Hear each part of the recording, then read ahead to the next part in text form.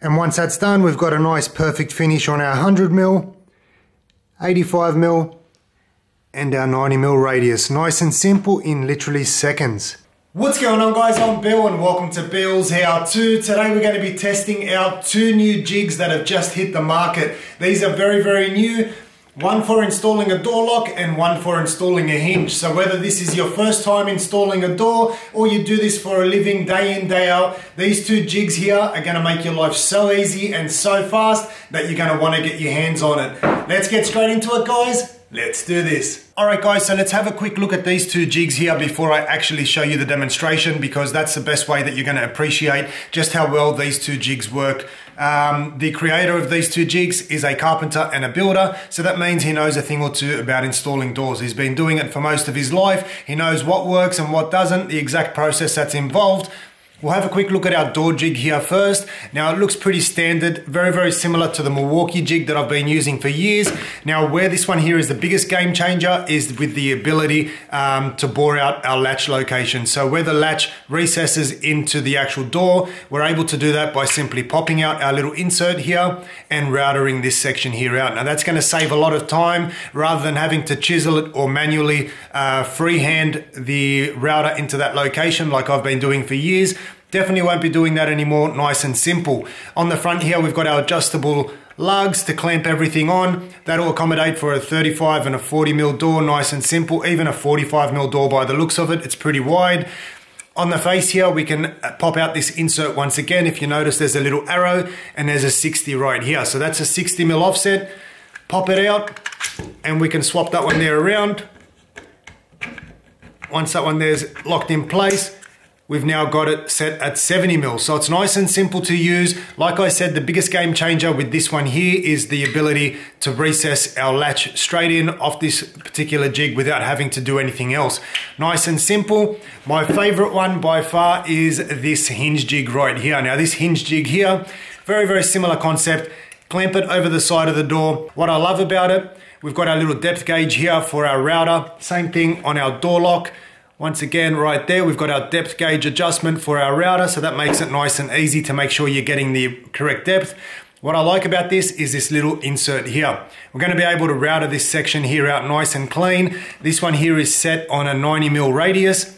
You simply pop out that insert, swap it over, and now we've got this one here set for an 85 mil butt hinge. If you want to do a 100 mil hinge, pop out the insert, and you use it just like that. So now we can easily switch over from 100 mil, 85 mil and a radius, nice and simple. Once I show you guys how this one here works on a live demonstration, you're gonna really appreciate it. All right, so I've got an old door here that I'm just gonna be demonstrating this jig on. Drop it on top, it's gonna accommodate for a 35, 40 mil door. So you can see down there little V, we can line that up with our pencil marking. Make sure we're 100% happy with that location position it where we need it to, and then we can just simply clamp this one here on. We've got our one set on our 60 mil here for our offset. We're gonna take a 54 mil um, hole saw and we're gonna simply bore out our little center section here. And once you can see your pilot bit come out the other side of the door, you wanna stop, take your drill out, and we're gonna go through on this side. That's gonna prevent any kind of blowout. And you can remove the core. So now we can take our 25 mil hole saw and go straight through the top.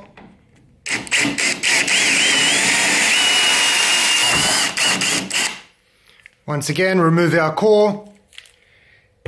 And now what we do in this case here is we simply remove our little insert. So now we can take our router and you can see here it's got a little bearing on the side that's going to allow it to travel around the perimeter um, and staying nice and tight to that edge. So drop it inside. Going to be a little bit hard for you guys to see, but I'll show you guys the finished product once we're done.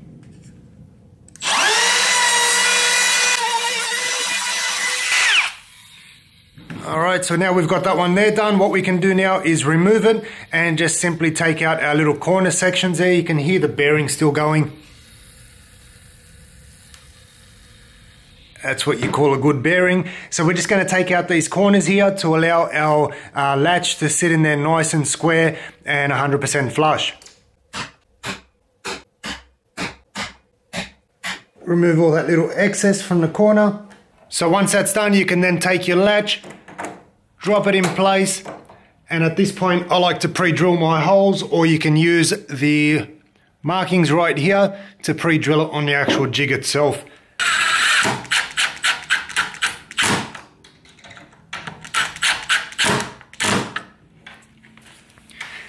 And that there is a nice perfect recessed latch, nice and simple using the jig. So it's now time for the hinge jig. So on the side of your jig, you'll notice there's a little depth gauge right here. You just simply take your router and adjust it to the correct depth as we've got right there. Then you can take your hinge, drop it in place. We've got the little insert here for our 90 mil radius. Clamp it in place. So now we're going to take our router and plunge it in. I'm going to travel all the way around. It's going to be a little bit hard for you guys to see, but I'll show you guys once it's finished.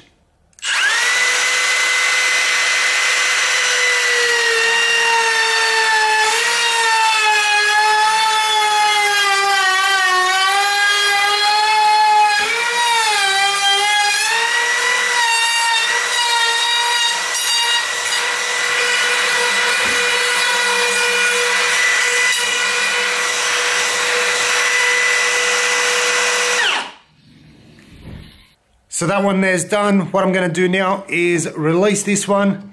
I'm going to remove that insert for our radius and we'll swap it over for our 85mm butt hinge. I'll do another one right next to it.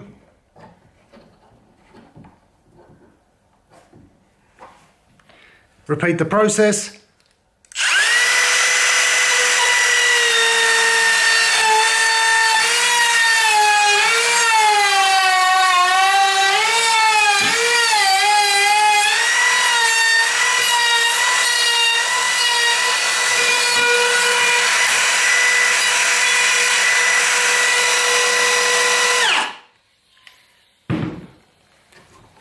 Once again, this time we're going to have it set for our 100 mil, so that means we just take out that insert, drop it in place,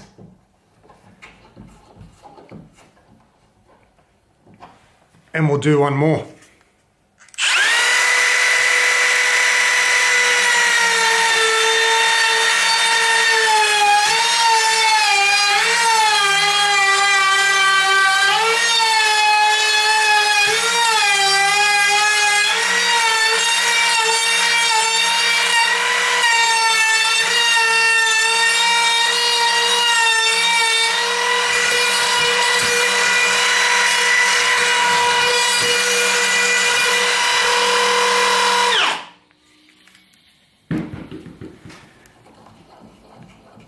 Clamp that one there off.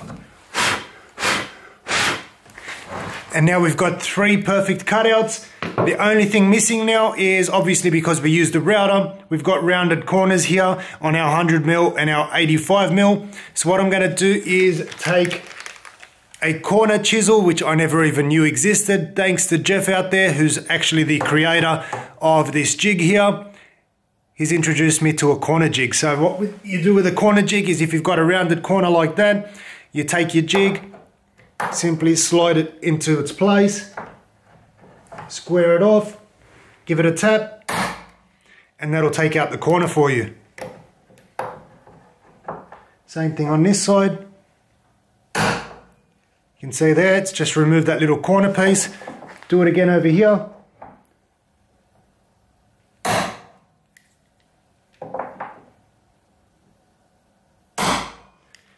That's it guys. Simply take a chisel, remove any of that little excess that you might have left in the corner.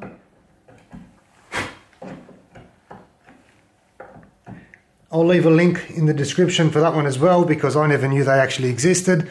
And once they're done, this is what they end up looking like. Perfect finishes.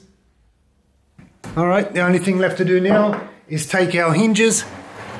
We'll start off here with our 85mm butt hinge. Now these ones here are a nice tight firm fit which I really like. They're 100% precise. We'll take our 90mm radius. Once again, slide that one there in. And lucky last, we'll take our 100mm. Tap that one in place.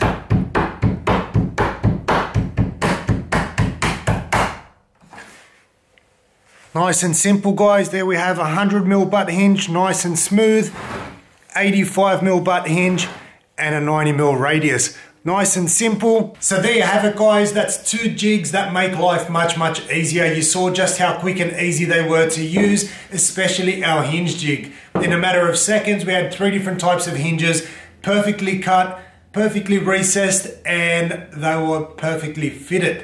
What I mean by that is you guys have seen previous videos where I've tried other jigs and they always leave gaps and there's a big tolerance in it. This one here was absolutely perfect on all three types of hinges. So somebody's done their homework. I'll put a link in the description below in case you guys want to pick one up. Um, they're only available in one particular place, so make sure you get onto it quick. If you've got any suggestions on how these two products could be improved or any way that we can make these better, put it in the comment section below, guys. We're always here to learn and to advance. Hopefully you guys have enjoyed the video. You've learned something new. As always, guys, like, comment, and subscribe. Until next time, I'm Bill. Thanks for watching Bill's How To.